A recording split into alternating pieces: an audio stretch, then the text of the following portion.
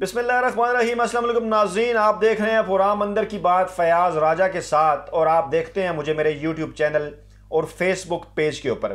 جی ناظرین، جیسا کہ تھم نیل سے آپ کو یہ پتہ چل رہا ہوگا کہ آج ہم آپ سے تین اہم ترین خبریں جو ہیں وہ ڈسکس کرنے جا رہے ہیں اور اس حوالے سے ان کی جو اندر کی باتیں ہیں، جو اندر کی معلومات ہیں، وہ بھی ہم آپ سے شیئر کریں گے۔ معاملہ کچھ یوں ہے کہ آج سے چند روز قبل جو ہے وہ مریم نواز صاحبہ کی جانب سے ایک ٹویٹ جو ہے وہ کیا گیا اور وہ پنجابی اس کہنے نے کہ جدو توڑا ماڑا ٹائم چل رہا ہوتا ہے تو اس ٹائم تسی کو چنگا کم بھی کر دے ہو تو وہ بھی ماڑا ہو جانا ہے۔ تو بالکل یہی ہوا مریم نواز جو کہ بغیر سوچے سمجھے گفتگو بھی فرماتی ہیں اور بغیر سوچے سمجھے ٹویٹ بھی کرتی ہیں۔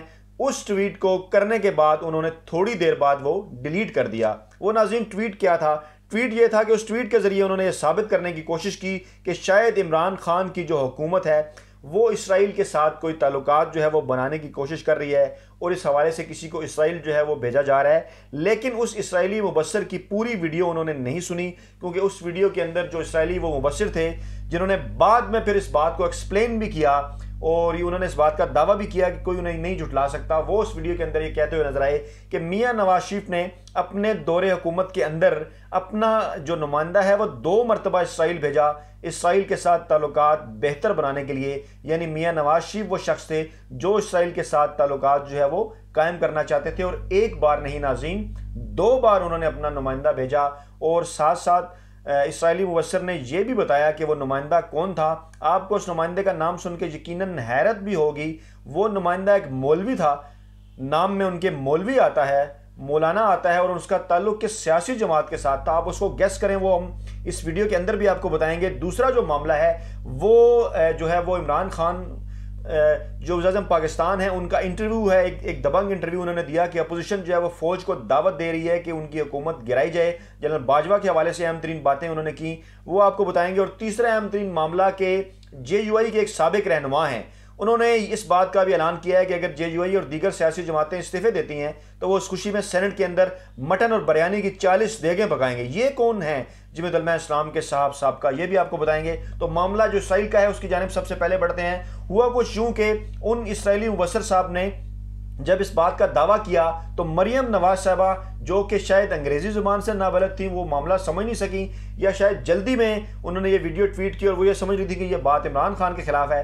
بہرحال جو ہے وہ اس وقت کئی لوگ یہ کہتے ہیں کہ میاں نواز شریف کی سیاست کو جتنا نقصان مریم نواز صاحبہ نے پاکستان میں بیٹھ کر پہنچایا ہے، شاید ہی کسی نے پہنچایا ہو۔ تو مریم نواز صاحبہ نے وہ جب ٹویٹ کیا تو اس کے اندر میاں نواز شریف کے حوالے سے یہ انکشاف کیا گیا تھا۔ تو بعد میں فوری طور پہ مریم نواز نے وہ ٹویٹ جو ہے وہ ڈیلیٹ بھی کر دی۔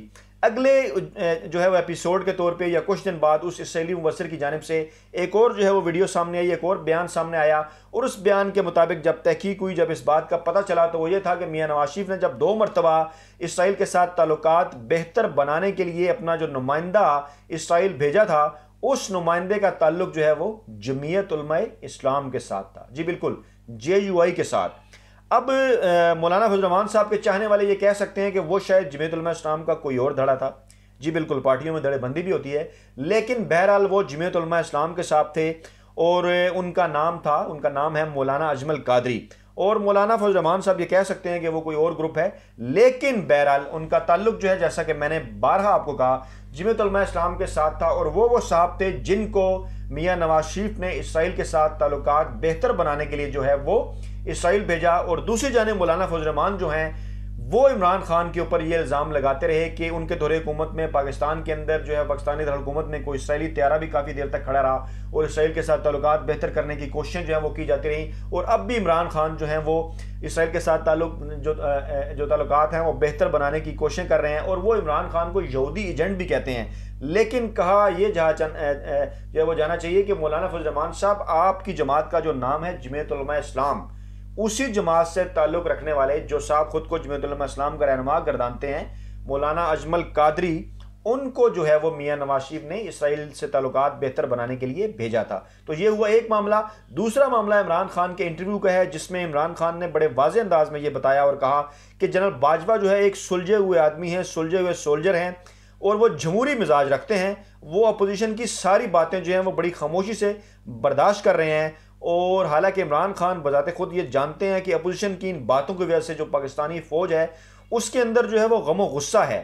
اور اس بات کو برداشت کیا جا رہا ہے۔ اور اگر اس وقت آرمی چیف کمر جاوید باجوہ کی جگہ کوئی اور ہوتا تو بڑا سخت جو ہے وہ جواب ملتا اپوزیشن کو، لیکن جمہوری مزاج کی وجہ سے جنرل باجوہ جو ہیں وہ خاموش ہیں اور وہ جواب نہیں دے رہے۔ اور اس کے ساتھ ساتھ عمران خان نے یہ بھی کہا کہ آرٹیکل سکس جو ہے وہ ان تمام تر باتوں کے اوپر لگتا ہے، جو اپوزیشن اس وقت کر رہی ہے، وہ باتیں کہ عمران خان کی حکومت ختم کرنے کے لیے وہ پاک فوج کو اور وہ جنرل باجوہ کو بھی بارہا دعوت دے رہی ہے اور مطالبہ کر رہی ہے۔ لیکن عمران خان نے یہ بتایا کہ اس وقت جو ہے وہ اس قسم کی کوئی بھی جو خواہش ہے، وہ اپوزیشن کی پوری نہیں ہونے والی کیونکہ فوج ان کے انڈر کام کر رہی ہے، فوج ان کے اوپر نہیں ہے بلکہ وہ فوج کے اوپر ہیں۔ اور اس کے ساتھ ساتھ انہوں نے یہ بھی کہا، بلکہ انہوں نے اپوزیشن کو چیلنج کر دیا کہ اگر پاکستان ڈیموکریٹک موومنٹ جو کہ گیارہ جماعتوں کا اکٹھ ہے، وہ اگر پہلی بات تو یہ ہے کہ وہ دھرنے کے لیے لوگوں کو اسلام آباد لانے میں کامیاب نہیں ہو پائیں گے۔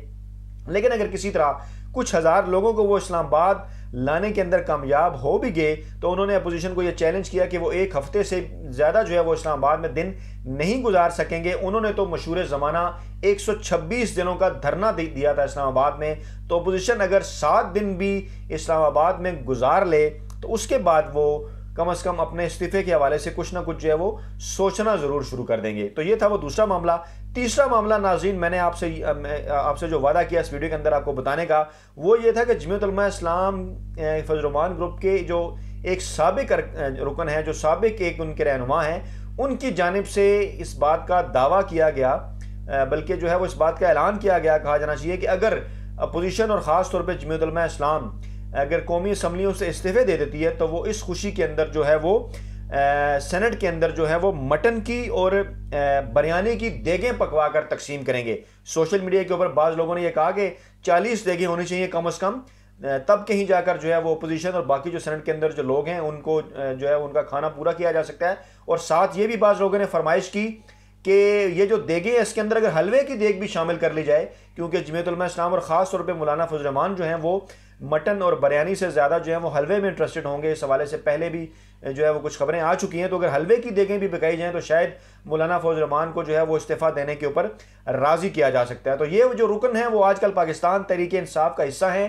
سینڈر اعظم سواتی، جو کہ کسی زمانے میں جمعیت علماء اسلام کے مولانا فوز رحمان کے جو ہیں وہ بڑے قریب رہے ہیں، انہوں نے جو ہے وہ اس بات کی ایک طرح سے کہا جانا چاہیے کہ اپوزیشن کو آفر کی ہے۔ کہ اگر آپ جو ہے وہ استعفے دیتے ہیں، تو پھر آپ کی خدمت میں یہ جو دیگے ہیں، آپ کی آپ کی اس خوشی کے لیے یہ جو دیگے ہیں، یہ سینٹ کے اندر تقسیم کی جائیں گی۔ تو ناظرین، یہ تھی آج کی تمام اہم ترین معلومات۔ اس ویڈیو کے اندر جو ہے میں نے آپ سے شیئر کرنی تھی۔ پاکستان کے سیاسی حالات جو ہیں وہ دن بدن بدل رہے ہیں اور دن بدن نئی سے نئی ویڈیو کے ساتھ آپ کی خدمت میں اب یہ ہمارا مقصد ہے کہ حاضر ہوا جائے اور زیادہ سے زیادہ جو معلومات ہیں وہ آپ تک پہنچائی جائیں اور ان ویڈیو کی جو جو ان کا تناسب جو ریشو ہے، اس کے متعلق بھی میں سوچ رہا ہوں کہ ایک کی بجائے دو ویڈیو بھی ایک دن کے اندر کی جا سکتی ہیں، لیکن اس کے لیے یہ ضروری ہے کہ آپ کے فیڈ بیک سے بھی ہمیں اس بات کا اندازہ ہو۔ اپنا بہت خیال رکھیے گا، ہمارے چینل کو سبسکرائب ضرور کیجیے گا۔ اللہ حافظ۔